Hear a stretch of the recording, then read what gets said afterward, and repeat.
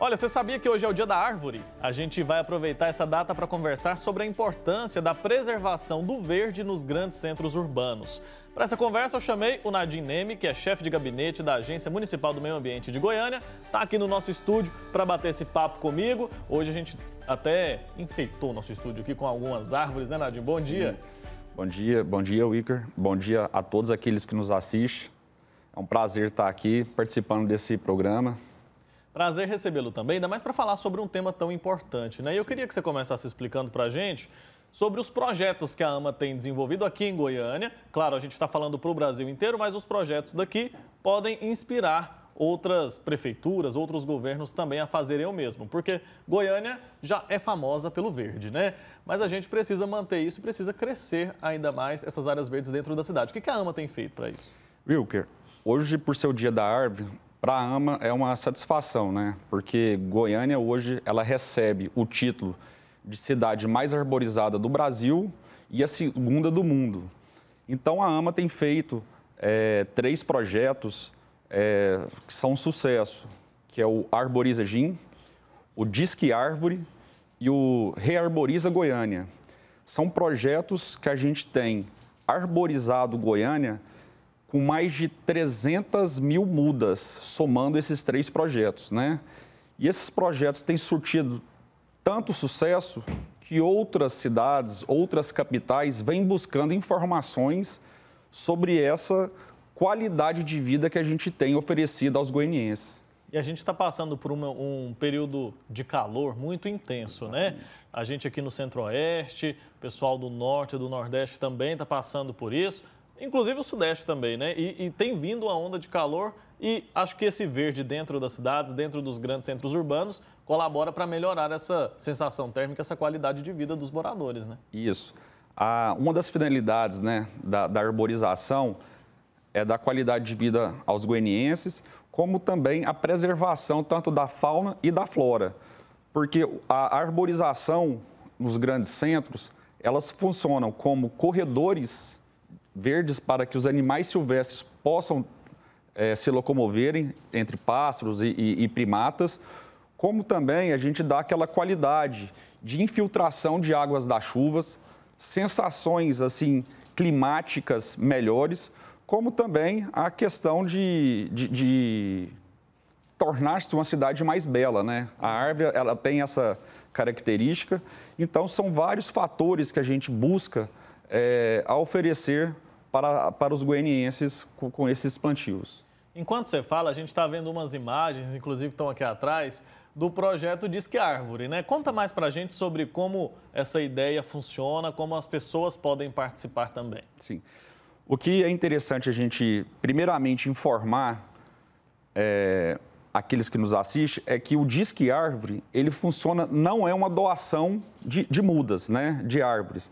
O que o DiscAR faz é a implantação, por meio de estudo técnico, para que aquele contribuinte que gostaria de plantar um exemplar na porta da sua casa, a agência ela disponibiliza uma equipe técnica para que possa fazer essa, esse plantio. E para esse plantio é necessário um estudo que é feito por meio é, é, de técnicos da agência que elaboram ali a, as condições do terreno. Se, por exemplo, a calçada ela tem um estreitamento curto ou largo, se há alguma encanação ou, ou se ela pode prejudicar as questões referentes à fiação elétrica. Então, todo esse estudo é feito pela agência. A agência, ela implanta ali um cercamento para proteger o exemplar que é plantado, como também é, os nossos operacionais, os nossos servidores da AMA fazem todo o trabalho ali para que não danifique a mobilidade da calçada. Entendi. Até porque tem que ter esse estudo técnico para saber qual tipo de árvore pode ser plantada em cada local. Justamente porque, por exemplo, às vezes a raiz de uma árvore, Exatamente. ela se estende demais, pode prejudicar a estrutura de uma casa que está próxima e tudo mais. Por isso que é importante ter esse acompanhamento técnico. E a pessoa que quer participar desse projeto, ela quer ter uma árvore ali, por exemplo, num parque em frente à casa dela, ela pode solicitar isso pelo telefone, não é? Exatamente. A gente hoje disponibiliza um telefone, que ele também é WhatsApp, que é o 99 639 7495. é, é um telefone que a pessoa registra ali as imagens né, aonde gostaria de, de, de fazer a implantação do exemplar, é feito um estudo e após a nossa equipe é deslocada por meio de uma van com, com os operacionais e todo aquele equipamento para poder fazer a implantação do, da muda necessária. Certo, Nadine. Você falou que Goiânia tem o título de capital mais arborizada do Brasil, né? Uma Sim. das cidades mais arborizadas do Brasil. Como que é feito esse cálculo, hein? Esse cálculo ele é feito pela, pela quantidade de exemplares por metro quadrado, né? Ali, assim, é, seria pela dimensão do tamanho da cidade. E, e Goiânia já vem buscando esse, esse título já vem carregando esse título nacional como a primeira cidade mais arborizada e a gente busca agora é, ganhar o título da cidade mais arborizada do mundo. A gente só perde, se eu não me engano, para uma cidade do Canadá, mas a gente vem buscando essa, essa implantação. E, e é válido a gente falar que agora, para os 90 anos de Goiânia, o presidente Luan e o prefeito Rogério Cruz pretende fazer um plantio de 90 mil mudas em áreas que a gente considera áreas degradadas. Então, serão plantadas árvores do cerrado, árvores ali que serão é, indicadas pelo estudo técnico para a gente fazer essa, esse replantio de áreas que ali a gente pretende é, dar mais qualidade ali é, é, referente ao meio ambiente para todos os goianienses. E essas árvores todas, elas são produzidas onde? Elas vêm de onde? São, são compradas? São doadas? Nós temos um viveiro, né? A, a agência tem um viveiro aonde ali, é, nos próprios parques, os nossos operacionais, os nossos servidores fazem a coleta da semente e ali a gente tem um, um, um viveiro que são é, plantadas essa, essas mudas como também em algumas ações referente a termos de compensação ambiental, nós buscamos receber mudas, né, referente a esses termos. Então, a gente, além de plantar, a gente também recebe algumas mudas é, referente a essas compensações ambientais. Tá certo. Eu acho interessante a gente falar sobre esse tema. A gente, inclusive, tem a imagem ao vivo aqui de Goiânia, porque como o verde embeleza uma cidade, né? Olha só, essa imagem aí, ela é da, da, cobertura aqui, do prédio onde fica a TV Pai Eterno. A gente vê em meio aos prédios, todo esse verde, isso traz, além da beleza, um frescor, né? A gente está numa região muito seca, você pode ver pela imagem que não tem nenhuma nuvem no céu, né? Então a temperatura aqui está bem alta nesse momento. Mas a gente vê que esse verde traz um alívio para todos nós. Por isso que todos nós precisamos abraçar essa causa e tentar preservar isso da maneira como a gente pode. Eu vou trazer aqui juntar para essa nossa conversa a gerente geral do Conselho de Arquitetura e Urbanismo de Goiás, a Maria Esther de Souza. Ela está conectada para conversar comigo sobre esse assunto, vai falar também sobre essa importância da preservação do verde, da arborização nas áreas urbanas e os desafios que envolvem tudo isso, né, Maria? Bom dia, seja bem-vinda. Bom dia, obrigada pelo convite. Um prazer estar aqui com vocês. Prazer recebê-la também. Maria, envolvem muitas questões e muitos desafios, né? Manter uma cidade arborizada. A gente tem carro, tem prédio, tem calçada, tem cimento para todo lado. Como que a gente pode pensar em cidades mais verdes? Olha, essa é quase que uma guerra, né, para quem trabalha com urbanização, porque essa combinação da infraestrutura urbana da cidade com o vegetal, ela em alguns lugares a gente podia dizer que ela é incompatível, né? Se você imaginar que não é só nos lugares que a gente anda, que existe essa infraestrutura, que a gente tem tubos de esgoto, tubos de drenagem, para cada casa na cidade, um caninho de água passando pela calçada né, e entrando na casa, isso torna esse é, evento, que é a arborização urbana, um desafio para quem vai projetar. Mas é possível, basta que a gente tenha a, a capacidade de compatibilizar essas estruturas né? E quem for, né, o agente responsável pelo plantio, conversar com os outros, né, agentes responsáveis pela urbanização e isso é, chegar numa coisa de equilíbrio. Tá certo. É que a gente fala com os dois, né? Os agentes responsáveis pelo plantio e também pela urbanização, por pensar também nessa questão toda. E achei interessante isso que você trouxe, porque eu não tinha pensado nisso. Tem muita coisa que a gente não vê que também pode influenciar, pode prejudicar e atrapalhar nesse processo de aumentar o verde aí nos grandes centros urbanos. São muitos os desafios que envolvem, né? É, e quais são os principais? Eu digo isso porque a gente pensa na, na no, no projeto ali de uma cidade, aí já é muito desafiador querer implantar áreas verdes, né? E no caso das cidades que já estão prontas, durante muito tempo isso foi negligenciado, né, Maria? E agora que as cidades já estão lá, tem como mudar essa realidade e melhorar as condições? Olha, as que já estão lá, que elas já, já estão construídas, se a gente tiver a possibilidade de aumentar as áreas verdes, retirando mesmo é, o encapamento, já é uma ativa. Eu, eu vou te dar um exemplo.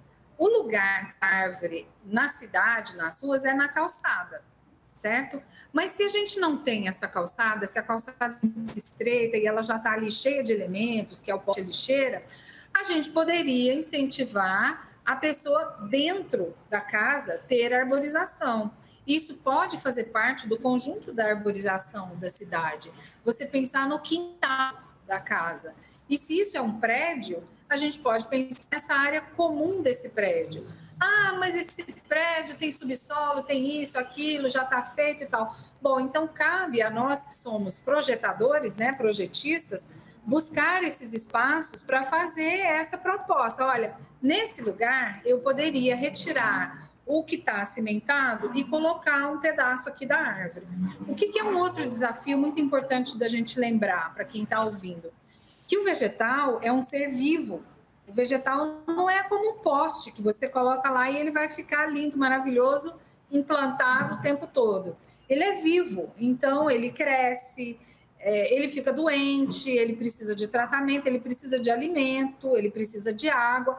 E esse manejo é o que é o mais complexo de ser é, entendido, não só pela população, mas como pela gestão, como sendo de um investimento, eu diria assim, à parte. Né? Numa cidade como a nossa, se eu encontro um centro urbano onde tem uma calçada que não tem nenhuma árvore, é, como, é que eu, como é que eu tomaria essa decisão de colocar um ser vivo lá? Primeiro, eu observaria a infraestrutura. Tem um poste com fiação? Bom, então talvez não seja adequado eu plantar uma árvore aqui de baixo. Seja adequado eu plantar um arbusto, colocar só uma gramínea, uma forração seja adequado eu só ter um piso permeável. Tudo isso compõe esse espaço que é a vegetação urbana. Certo. Daí vem a importância do planejamento técnico que a gente mencionou agora há pouco, né, Nadim? Exatamente. Eu acho que a doutora Maria Esther, ela, ela explicou muito bem. É, para que seja feito um plantio, é, é necessário que haja um estudo sobre a área né, que será plantada, e, e, são esses os motivos que os nossos técnicos têm é, fiscalizado né, e, e têm orientado bem os goianienses para que possa ali fazer um plantio e que esse plantio futuramente não causa nenhum um aborrecimento ou um prejuízo futuro para o próprio proprietário do imóvel. Uhum. E como funciona aquela questão das árvores que já estão ali causando algum tipo de aborrecimento, algum tipo de prejuízo? A AMA tem também o cuidado de fazer a retirada dessa árvore, plantar outra coisa no lugar para não ficar sem? Como que funciona essa questão junto aos moradores? Sim, é, primeiramente vai um técnico é, da agência é, fazer essa análise, né? É, feita essa análise, o, se, se, se, se, o arbusto, né, se a árvore está doente, ela é extirpada, ou se somente uma poda simples pode ali talvez resolver o problema detectado. Mas a AMA vem buscando sim a substituição. E aqui eu dou o exemplo dos jamelões, né? É, o plantio dos jamelões ele foi feito de forma errada. Por quê? Porque foram plantados vários jamelões é, em vias públicas, que causou um excesso né, de, de, de, de, prejuízos ali para principalmente motociclistas, né, que, que, que transitam nesse, né, nessas vias. Então, esse estudo técnico, é, que inclusive a doutora Maria Esther explicou muito bem, que deve ser feito para que no futuro a gente não sofra prejuízos né, é, é, com esses exemplares ali já fixados. É, tem que buscar essa harmonia, tem, né? Para que a vida urbana continue acontecendo de maneira segura e a preservação ali do verde se mantenha também. E aqui a gente está falando sobre meio ambiente, mas a gente está falando também sobre manter até a qualidade de vida e a segurança das pessoas, né, Maria? Até porque se a gente cimenta uma cidade inteira, aumenta as enchentes, aumentam muitos prejuízos que a gente acompanha e a gente vê no noticiário todos os anos na época de chuva. Isso. É, a, a função vegetal na cidade, ela vai além dessa, dessa questão só assim de eu gostar da árvore, né? A árvore, ela tem o poder de melhorar as condições de poluição do ar, né? Ela filtra né, parte desses poluentes, ela tem a função de sombra, né, num lugar como o nosso que é tão quente. É, ela ajuda demais, às vezes, a amenizar uma, uma situação de um ambiente que é nosso aqui, que é muito quente. O lugar onde a árvore está plantada, se o cidadão tiver a, a sensatez de não cimentar até, o, até o, a base da árvore, ela, ele é um espaço é, que ajuda a drenagem, né? ajuda na permeabilidade do solo. Então, a gente tem mais de uma função da árvore hoje na cidade que pode ser explorada não só pelo poder público, mas pelo cidadão. O que eu acho importante lembrar são esses detalhes. Por exemplo, uma frutífera, ela não é adequada para ser plantada em via urbana, por causa do seu é, fruto, por causa do que ela produz ali, e porque a gente tem que lembrar também que tem é, é, a fauna que vem em busca, às vezes, desse alimento e que pode ser um problema também. Então, uma frutífera, ideal que ela seja levada para o parque, que ela esteja nos quintais, né? E sempre lembrando isso, o quintal na cidade, ele é um espaço que pode estar somado a esse conjunto das áreas verdes da cidade. E situações como essa, por exemplo, de enchente, de alagamento, são coisas diferentes, né? A presença do vegetal ela vai ser importante, mas quanto mais áreas permeáveis eu tiver, não adianta eu ter o vegetal num lugar onde essa permeabilidade, onde essa sim, água está indo e está tudo cimentado. Não vai ajudar muito também. Exatamente. Então são questões que a gente precisa pensar. Se a gente puder ali no nosso, na nossa casa evitar de cimentar tudo, fazer o calçamento de tudo, isso inclusive aumenta né, a sensação térmica ali dentro de casa, fica mais desconfortável. São questões que a gente precisa muito pensar antes de fazer uma obra ali. Ô Marista, obrigado, viu, pelo seu tempo aqui. Até uma próxima oportunidade. Abraço. Eu que agradeço. Obrigada. Até a próxima. Até a próxima. Tchau, tchau. Também agradeço, viu, Nadir, pela presença aqui. Parabéns pelo trabalho. Obrigado. Eu que agradeço o convite e deixo à disposição a agência, a, todos os telespectadores do programa. É, é, reforço que o telefone do Disque Árvore é o 99634 7596. 95, tá na tela 95, lá. desculpa. Isso. 96397495 para quem está em Goiânia, o DDD é Isso. 62, então se você aí quer entender mais sobre esse assunto, quer fazer uma solicitação, entre em contato aí, porque é um trabalho muito bacana que vale a pena para deixar nossa cidade ainda mais bonita e que outras cidades também se inspirem nesse projeto. Até uma próxima, viu? Obrigado.